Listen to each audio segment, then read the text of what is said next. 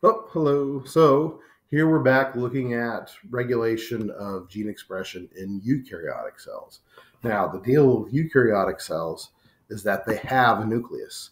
So by having a nucleus, we can sort of control gene expression in many different ways. So eukaryotes have much greater um, variety in the ways in which gene expression is controlled. All right. So here's a nice image from the textbook, sort of showing sort of regionally, you know, where in the cell these points of regulation occur. And then over on the left here, we have sort of details related to what happens. So since we've separated transcription and translation in space and in time, you know, whether it's in the nucleus or whether it's in the cytoplasm, it allows lots of different ways to sort of regulate gene expression. All right, so we begin with just access to the DNA, right? If you can't get to the code, you can't transcribe it. So, how does that work? Well, um, if you recall, DNA wraps around those little histone proteins. So, here we see the histones in purple and the DNA is in blue. So, if you add acetyl groups to the tails, the little green dots that we see here, if you add acetyl groups to the tails of those histones, it unwinds the DNA and that provides greater access to uh, the, the code within the DNA molecule. Okay. So uh, again, adding acetyl groups uh, opens up the, the DNA. I just think acetylation provides access, right? And so certain regions of the DNA are coiled up. That's called heterochromatin. Since it's packed in tightly, transcription doesn't really happen. And then in areas where the DNA is less tightly bound, it's euchromatin. That's the good stuff. Uh, the code is more accessible and the DNA can uh, be transcribed. Uh, now, one thing that's a little weird is sometimes uh, these acetylation um, patterns that occur in DNA, so regions that are sort of coiled up or uncoiled, that can be passed on from parent to offspring. So things that can happen during a person's lifetime can actually influence whether those genes be expressed in their offspring. Uh, now, acetylation provides access. We've already talked about what methylation does. If you add methyl groups to the DNA, it coils up, like what you see in Barr bodies in the X chromosomes of females. Uh, so with methylation, you are shutting down certain regions of the DNA. So you shut down different genes. So again, acetylation gives access, methylation causes it to coil up. Uh, so again, that gives you a chance to sort of influence whether or not uh, genes will be expressed. You can inherit them, but whether or not they're used to make something depends on stuff like this. All right. Well, let's say transcription happens. Uh, for transcription to occur, you actually need a lot of pieces of the puzzle in place. Okay. So again, before the, the play can begin, all the actors have to be present. Uh, now, what we're, we focus on up to this point is sort of the, the part of the DNA that can be transcribed. So here we see the promoter where the RNA polymerase attaches. You see the introns and the exons, the areas that will get cut out and stitched together. And then, you know, we've got the five prime cap and the poly A tail. But remember, genes only make up about 1% of your DNA. There are regions outside of genes that influence transcription. And so these are uh, these enhancer regions uh, or control elements. Okay, so these are non coding regions of DNA. So these are before the gene, and they actually help control whether or not the gene gets expressed. So if you recall, we said that transcription factors need to sort of get situated in the promoter to act like a, a, a, car seat before RNA polymerase can transcribe things. Well, what do the transcription factors dock on? What are they attached to? Well, it turns out uh, there are regions of DNA, again, they call them enhancers here. And you see these little proteins, they're called activators. the activators have to dock on the DNA, and then the transcription factors can attach to that. So you can imagine if you change the DNA, if you mutate the DNA uh, in these enhancer regions, that's not the gene itself. But if you change the DNA, these activators may not attach. If these activators don't attach, transcription factors don't attach. And if they don't attach, RNA polymerase doesn't transcribe the gene. Okay?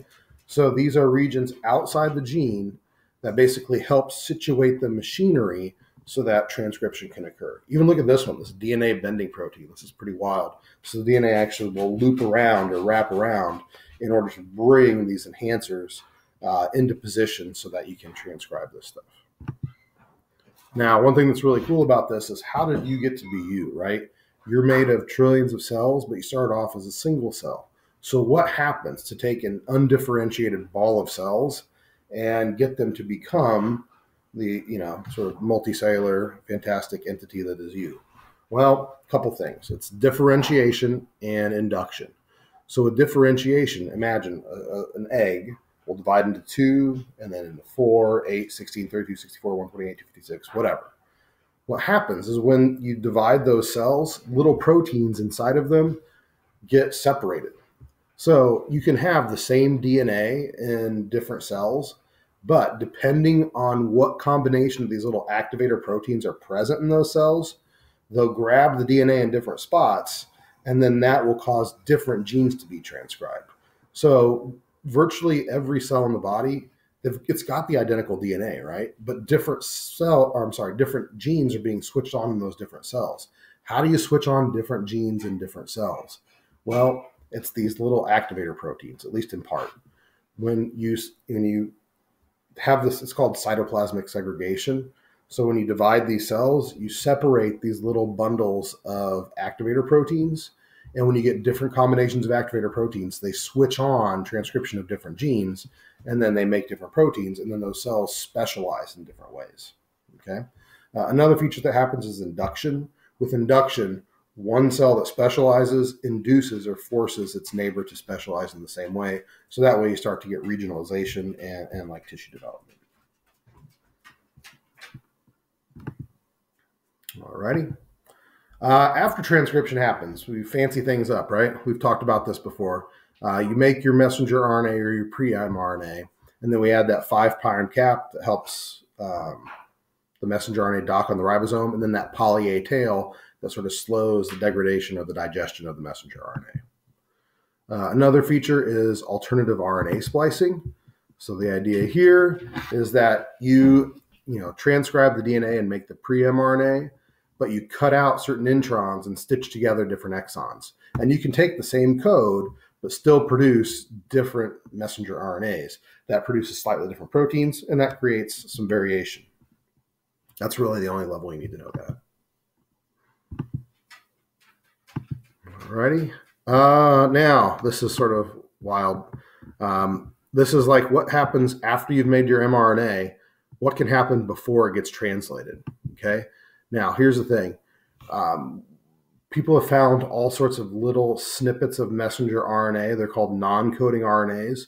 So these are RNAs that aren't used to provide instructions for making a polypeptide. These are RNAs that actually influence other behaviors in the cell. So the process is called RNAi or RNA interference. So you can imagine RNA is single stranded, right? So that means its bases are exposed and so RNAs can have some sort of catalytic activities. So what we see here is that you can take a messenger RNA and you can cut it up. It's with a, a protein called dicer, so like a dicing and slicing. Uh, but you take the RNA and then have it combined with some other proteins. And what it does is it basically has some bases that are exposed, and it can go around and look for complementary messenger RNAs and capture them and destroy them. So what this can in essence do is silence genes. So imagine in red, you've got this messenger RNA that's been created. It's ready to go get translated. But if it gets captured by these little snippets of non-coding RNA, it'll get captured and then destroyed, and then translation doesn't happen. Okay. So again, this is called RNA interference because these little RNAs can go and capture your mRNA and destroy them. So um, we've got a little video on that to watch. It's pretty cool.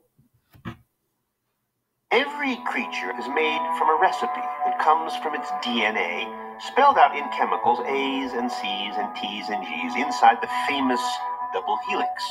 So, how do you get from DNA to become a real creature? Well, let's take one of those fantastic voyages and we'll show you. We're going to find DNA and well, we'll make it a typical cell, so we're going to have to fly in and then go off to the nucleus of the cell, which will make a beautiful castle, the headquarters. And there's the DNA. Okay, I'm gonna have to actually pause this. My battery's so low, uh, it's about to die, uh, and I don't have it at home uh, here, so I'm gonna have to wrap things up. Um, we'll watch it another time. Okay, post translationally, after you make the protein, you can still get rid of the protein, right? And that is using uh, a structure called a proteasome. Proteasome, I think of it as like a little garbage disposal for the cell. Uh, with the proteasome, you can tag proteins and then they're taken to this little garbage disposal and then they're destroyed. That way, proteins don't linger because proteins can become damaged and you don't want these damaged proteins in the cell or you don't want proteins in the cell the cell doesn't need. So that can, uh, again, get rid of cells. Or uh, not get rid of cells, get rid of proteins. Woo! Okay, well, there we have it. Uh, that is gene expression in prokaryotes and eukaryotes. I hope you have a great day. Take care.